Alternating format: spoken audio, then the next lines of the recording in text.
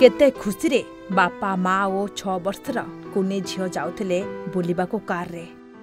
କିନ୍ତୁ କିଏ ବା ଜାଣିଥିଲା ତାଙ୍କ କାରରେ ଯିବା ଶେଷ ଦିନ ହୋଇଯିବ ବୋଲି। ବିଧିର ବିଧାନ ଥିଲା କିଛି ଅଲଗା। ଏକା ସାଙ୍ଗରେ ବାପା ମା ଓ କୁନି ଝିଅର ଜୀବନ ଚାଲିଗଲା।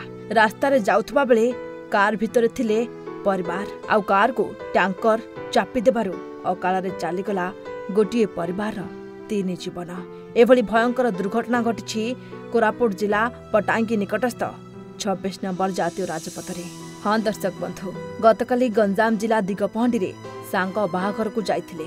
ସେଠାରୁ ଫେରୁଥିବା ବେଳେ ଓଏସ୍ଆରଟିସି ବସ୍ ସହ କନ୍ୟାକୁ ଛାଡ଼ି ବ୍ରହ୍ମପୁର ଫେରୁଥିବା ମିନି ବସ୍ ମୁହାଁମୁହିଁ ଧକ୍କା ହୋଇଥିଲା। ଆଉ ସେହି ଭୟଙ୍କର ଦୁର୍ଘଟଣାରେ ବାର ଜଣଙ୍କର ମୃତ୍ୟୁ ହୋଇଥିବା ବେଳେ ଏଭଳି ଭୟଙ୍କର ଦୁର୍ଘଟଣା ସାରା ରାଜ୍ୟକୁ ଦୋହଲାଇ ଦେଇଛି।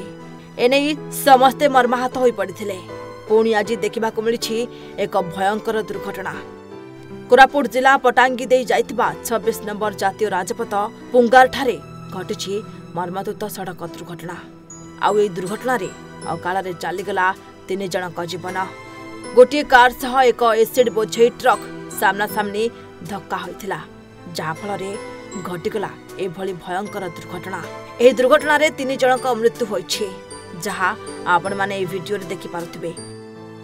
ଆଉ ଟିକେ ଦେଖନ୍ତୁ ଦୁର୍ଘଟଣା ପରେ କାରଟି ସମ୍ପୂର୍ଣ୍ଣ ଭାଙ୍ଗିରୁଜି ଚୁରମାର ହୋଇଯାଇଛି। ମିଳିଥିବା ସୂଚନା ଅନୁସାରେ ଜୟପୁରରୁ ବିଶାଖାପାଟଣା ଯାଉଥିବା ଏକ କାରକୁ ବିଶାଖାପାଟଣାରୁ ଦାମନଯୋଡ଼ି ଆସୁଥିବା ଏକ ଏସିଡ୍ ବୋଝେଇ ଟ୍ରକ୍ ମୁହାଁମୁହିଁ ଧକ୍କା ହୋଇଥିଲା ଯାହାଫଳରେ ତିନି ଜଣଙ୍କର ଜୀବନ ଚାଲିଗଲା। ଆଉ ଦୁର୍ଘଟଣାର ଦୃଶ୍ୟ ଏତେ ଭୟଙ୍କର ଯେ ଯାହା ଆପଣମାନେ ଏହି ଭିଡିଓରେ ଦେଖିପାରୁଥିବେ।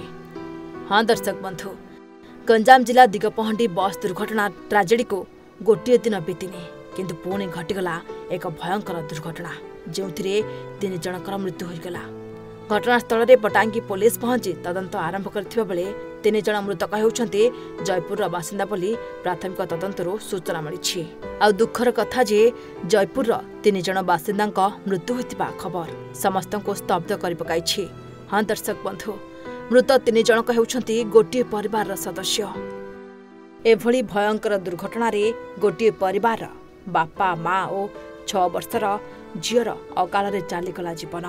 ଏହି ଦୁର୍ଘଟଣା ସ୍ଥାନୀୟ ଅଞ୍ଚଳରେ ଆଲୋଡ଼ନ ସୃଷ୍ଟି କରିଛି। କୋରାପୁଟ ଜିଲ୍ଲା ଶିମୁଳିଗୁଡ଼ାରୁ ସନ୍ତୋଷ କୁମାର ନନ୍ଦଙ୍କ ରିପୋର୍ଟ ଓଡ଼ିଶା ଭାସ୍କର।